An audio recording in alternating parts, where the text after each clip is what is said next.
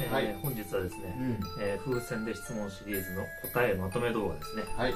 えー結構ね答えをまとめてほしいとかやっぱそれを全部まとめて表にするとなんか違う答えが出てくるんじゃないですかというコメントが多かったんで、えーちょっと改めてまとめてみましたね、はい。えー僕らも僕ら自身もねちょっともう質問が多すぎてちょっと答えがもうわけわかんなくなってきてどれがどんな答えかっていうのをちょっと覚えきれなくなってきたんで。これでねだいぶおさらいできるね。あうん。改めてちょっと、えー紐解いていこうかなと思います。とりあえずちょっと表にしてはい。ただちょっとね家の広さが足りなくてあのこれ20 10ずつしかちょっと入んなかったんでちょっとこれ今表見やすくしますね。はい。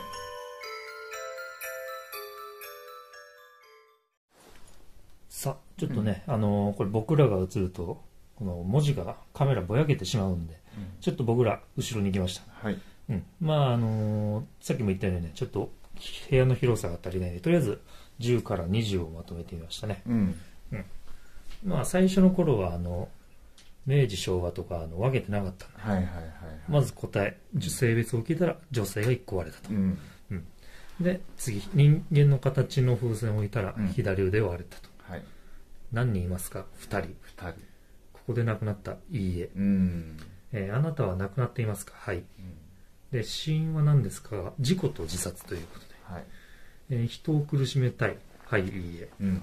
欲しいもの水、うん。生まれた時代が明治昭和というこれが、はい。今いわゆる明治さん昭和さんに、ここで生まれたよね。ううん。山中はどう思う好き嫌い両方分かれて、え2人を応援している。はい。ここまではとりあえず10までですね。なるだからまあこれ2つ答え割れてるのがあのーどっちかほどそうやまだ分からないこの時は分かんないよねうんでいまだにこれだって確定持てる情報はちょっとうんないので、はいはいはいうん、まあこんな感じかなという。ね、今になってこのだから変わってるかもしれないしね。人を苦しめたいがもしかしたら、はい、家がもしかしたら、なくなっはい、なくなってる可能性もうんなるほどねあるかもしれない。これ2ヶ月ぐらい前の話ですからね。はいこの時に答えてくれたのがこれということでうんで、次、これ。これがもうすごい。この、この昭和の章の字がね、こんなに頭ちっちゃい章見たことないから。ええやないか別にわかるでしょそうれん。山中の字らしいですね。じゃあ11番目いこえー一番嬉しいお供え。うはい雨と水。これがまだうん昭和明治がわかんわけでなかった時代だ。はい12番カメラをお尻に置くのはやっぱカメラが嫌と、うん。これ一つだけ選ばれたのがね。うん。うん。結構いろんな質問が答えがあった中で他のものとかを置いてもうん。嫌ですかみたいないろいろな中でカメラを指定してきたと。うん。あなたにだってほしい。では居場所です。はい。成仏したいですかと、うん。まだあなたとして遊びたい。うん。これだけが割れたの。そうやね。ううん。あなたたちの関係がこのまあここにいる2人は他人同士ということで。そうだから二人とも他人と答えたのうんうんお互いどう思ってる好き嫌い。これだからどっちがどっちをどう思ってるかが好き怖いあ好き怖いかうん。どっちをどう思ってるかはちょっとまだこの頃はわからなかったと。うん。年齢がでこっからそう明治昭和で。分かれました。こっちが明治もうだからこっから明確になります。昭和、はい。年齢が明治さんわからない。うん。昭和の方40代。これは亡くなったのが40代ってことかな。まあそうだよな。そういうことだと思うで。まあそうだよな。年が変わらないと言うからね。うん。もしだってな年変わってたら150歳とかもあり得るわけだからな、まあそういうことだよね。えー風船を割るのは疲れますか？うん。楽しいと罰か。まああの昭昭和の方は答えなかった答えがなかったの。うか、ん。どうやって割ってますか？口手爪念、これが明治さん。うん、で歯と手。昭和さんですね。うん。歯で割ってるのか。40代の。こう見るとちょっとあれやね。これが歯で本当に割ってんのかな、うん。まあでも答えではそうか。割れる。そういう答えを。だからよくコメントで多かったのがうん。本当にこれで割れるかを実際試したんじゃないかっていう。なるほどね。ううん。んでお札をどう思っている？うん。何も感じない。罰。だからこれはお札が押し入れに貼ってあるからうん。それを明治さんだけが答えてるということはもう明治さんがお押し入れにまあいるっていうのを一つ導かれたということかな、うんざっと20個のスマホこんな感じか。だからこあの部屋で亡くなってない。うん。で死因が自殺とうん。事故。だからまあ他の場所で何かあった。うん。明治時代の昭和の時代の方。はい。うん。あとは年齢わからないと40代。の分からないっていうのが分からないぐらい子供なんじゃないかというのが大体最近のうん憶測ですよね。憶測が結構結構多いよね。遊ぶような感じのが明治さんは多いので、そうやね。実際楽しいとも下に書いてあるからね、うん。風船割るのはね。これお互いはどう思ってる？好きと怖いがどう？どっちがどう？うんこれまだわからないのよ、どっちが。でもこれ子供と40代やったらもしかして親子ぐらいの関係かもしれないしな、うん。となるとじゃあ昭和さんが大人で明治のこと好きだけど、うん。明治の人は怖がってるのかもしれない。ああ、うんなるまあそうなるわね。年齢がそうなってると、うん。うん。あなたたちの関係単に、うん、まだこれは1個しか割れてないのか。これ1個しか割れてなういね、ん。成仏したい。あじゃあもう一人は分かんないんだ。そう。うん。結構1個が続いたのよ、一個。っていうかうん。風船がそもそも一つの質問に1個しかうん。まあ一つの答えに1個しか置いてなかったからうん。1個しか割れてない時はもしかしたら2人とも同じ答えの可能性がああるなるほどなるほど、うん、確か風船1個ずつじゃなかったこの頃まだ。ちょっと覚えてないんだけど。そうだっけ？どうやった？確かそうやったと思うねまだね、うん。うん。でもその15の他人から15番目からはうん。1個の答えを二個ずつ。2つずつ置き始めたね、なるほど、うん、まあまあでもここら辺はまあ予想頭に入ってんな。でもなんか一つのやっぱり人物像っていうのは出てくるね明治の人はそうか欲しいのが飴っていうのも多分これだから子供なんじゃないかっていうのを飴が余計憶測をなるほど。飴欲しがるということはじゃあこれ分からないけどもしかしたら明治さんが飴を答えたっていう可能性があるのか。そういうふうにうんちょっとこれでもどうやって割るかうん。明治の人こんないっぱいあるじゃん。うん。強いのかもしれないななんかその力が。俺は最初ちょっと無邪気に答えてくれたのかなっていうのはあったんやけど、うん。ただ力が強いという考え方もあるのか、うん。だって昭和の人がうん。2つしかできなかったのを明治の人は4つもうん。やってるからいやこんなん余裕ですぐらいの気持ちがあるのかもしれない。風船割るの楽しいっていうのもそうかちょっと子供っぽいなこう考えると、そうやね。うん、楽しくて飴、で、うん、年齢わから分からないないっていうのもねだからだから今結構皆さんが子供っていうのは。であの明治の人が強いって感じるのこれもそうかもしれない。お札を何とも感じないっていうのがんなるほどね、強いっていうのを余計ちょっうん。と思わせてる可能性があるな、こう見ると確かにいろいろと。うん、このお供えの絵がなんか陰謀みたいに見えてきたな。縮れ毛みたいに見えてきたなそんな風に見えへんわ俺。お前だけは見えおへん。供もじゃもじゃみたいな。アホかお前。一番嬉しいお供もじゃもじゃに見えいやてるもう怒られるぞ明治さんじゃ今い。ないかもしれんけど、明治さん別に迷惑かけてねえな。まあうんこそうだなちょっと子供っぽいなこうやってうん。改めて全部並べると、うーん。なくなってるのはもう認識してるってことだな。いい絵が割れてないから、そうやね、うん。はいしか割れてないから自己自殺。だからまだ2つ答えてるところはまだ明治さん昭和さんかわからないけどそうこっちはまだわかんない。けどなんとなくってうん感じなのか。でもこの苦しめたいはいいいえ2つあるっていうのそうがちょっと怖いね。でもこの頃はまださうん。お供えも確かしてない時期だから、うん。あのーまだなんつうの俺らも警戒してたし、うん。向こうも警戒してたんじゃないかっていう、なるほどね。うん、確かに答えは変わっていってるのかな変わってもこれはおかしくないな。ここの辺は変わってはないだろうけど、そうそうそうそう。ここで亡くなったがいい家だから。ここだからそうだな。うん。そういうことか。何2人。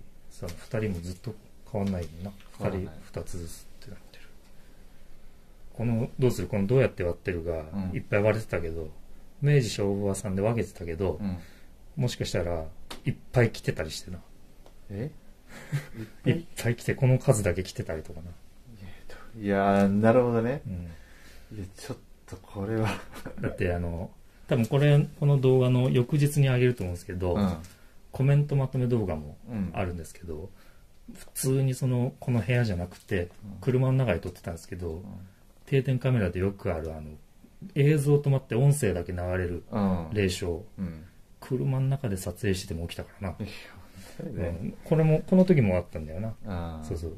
音声だけが進んでだから映像ぴったり止まってて映像止まってる中で風船割れる音が。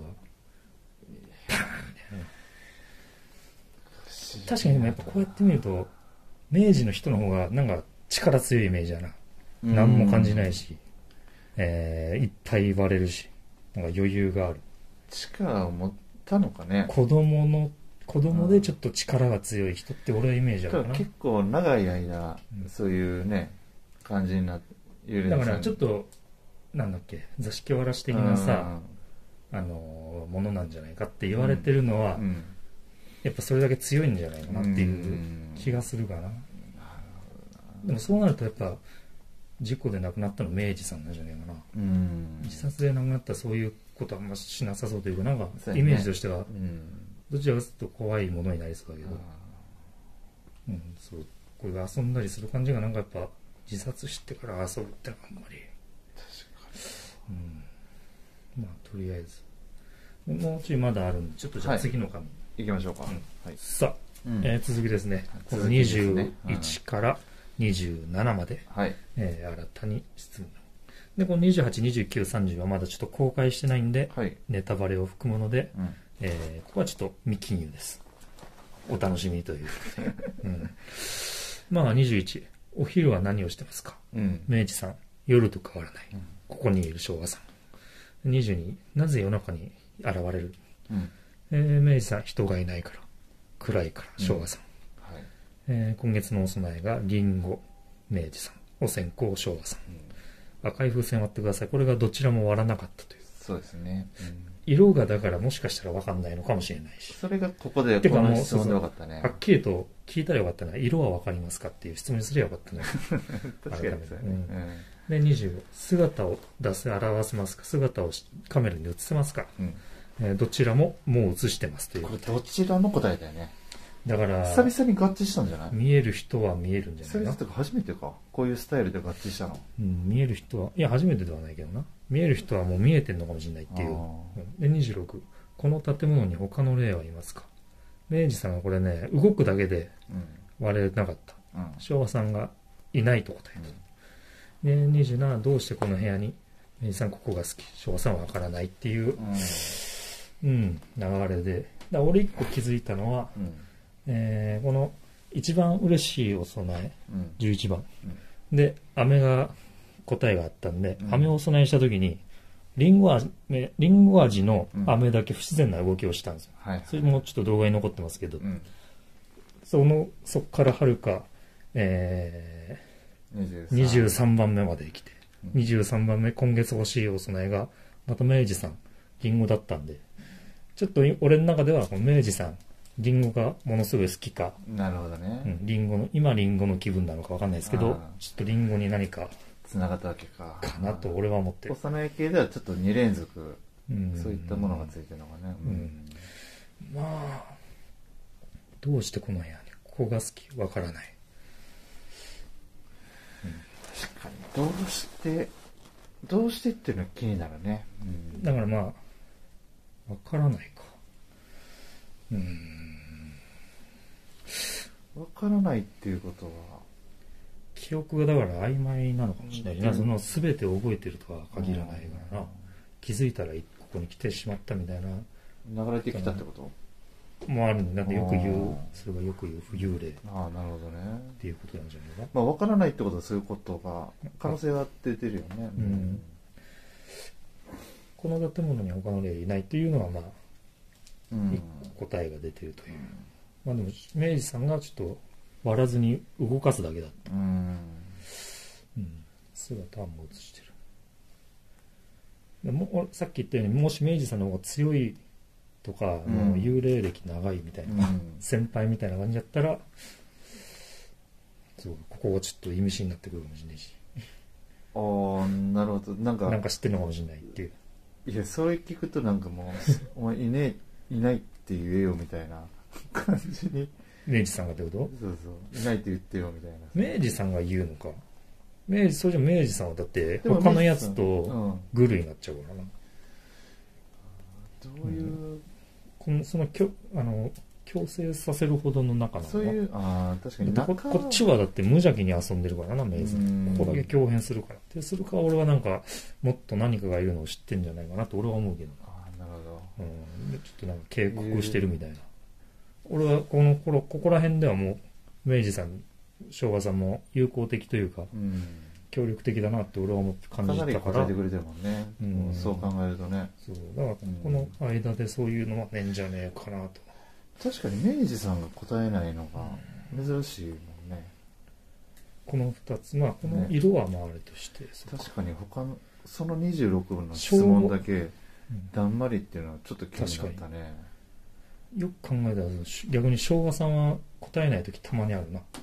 お前の宝くじのやつもここには載ってないけど昭和さん 答えなかった家に出ささなくてあげてうん。でも山中山中大炎上の。明治さんでもさ風船割るのはすごい楽しいって言ってるから。あそっだか。らか昭和の人は罰なのか。何も答えてないんだ。そうだから結構明治さんは割ってくれてるのかもしれないね。昭和の人はどう思ってんのかな風船割ることにそれも。なんかそんな楽しいというよりはああまあやってやるか今日もぐらいの感じいや仮にそうやとしてもその割には結構答えてくれてるよ。でも楽しいとかで割れてないってことかな。ちょっと考えるかまああれは疲れるからの質問やからねなあそうか。でうん。疲れるとは答えてないのか。そうそうそうそう、なるほどうねん。まあ、何か分かったらというとお札をどう感じるまあ一つだからもう確定しただろうなと思うのはうん。もう押し入れは明治さんだな。そうなるね、うん。うんで居場所とかに繋がっていくのかな。この辺な13番目のね、うん。この辺もう2つのうち1個しか割れてなかったからうん。ここで答えてくれてたのが、えー明治さんなんじゃないかなと。うん、お互いの、うん。で、まあ年齢とかが上がってる。えー、40代。どうしてここに？わからない。だからまあ、生姜さんは、この流れだとうん。40代の、まあ男性女性がちょっとまだはっきりしないんだ。だそっか。1回、2回聞いてんだけどうん、性別について。まず1回目は1個しか割れなくて、うん。2回目は2個同時にそうやね。割れてるから、2人が答えたのかどうかはちょっと分かってないね。まあちょっと性別は分からないで、うんだからイメージとしてはちょっと昭和の方の方が40代で、どうしてこの部屋にいるか分かんないから、うんちょっとまあ浮遊霊のような冬気はするかな。うんうん、だから、どっちの昭和さん、明治さん、どっちがこの建物に長く住んでるかもちょっと聞かないと、もし昭和さんの方が長く住んでたら、このいないが説得力が出てくるというか、なるほどね、うん。明治の人はもうじゃあ、ただ知らなかっただけっていうことになってくんじゃないかなという。でも逆だったら逆やもんね。そう。うん。そこはちょっと怖いな。だから確かにどれどっちの歴が長いかは知りたいね、で、えー明治さん。明治さんはちょっと子供っぽいような確かに答えが続いてる気はうん。年齢わからない、うんえー風船楽しいでお札何も感じないからちょっと子供っぽくてそうでリンゴ師匠でさっきも言ったけどこの多分飴と答えのも、えー明治さん。ちょっとだからこた子供っぽくてうん。パワーが強いのが明治さんなんじゃないかなっていうのが今のとこ分かるところかな。で昭和さんはちょっと浮遊霊っぽい。うん。そう考えると死因聞いた時明治さん昭和で分けてなかったけど、うんえー自殺はもしかしたら昭和さんなんじゃないかなという。まあそうなるわね。浮遊霊。どどうなの？浮遊霊ってそういうもんなのかうんででもまあちょっとわもかんないな。移動はしてきてるよね多分ね。なうん、うん。どうしてこの辺にか分からない。少なくとも両方ともここではなくなってなくなってないのな、うん、だからまあちょっと流れ見ると昭和さんの方が、まあ、どこかから流れてきたうん。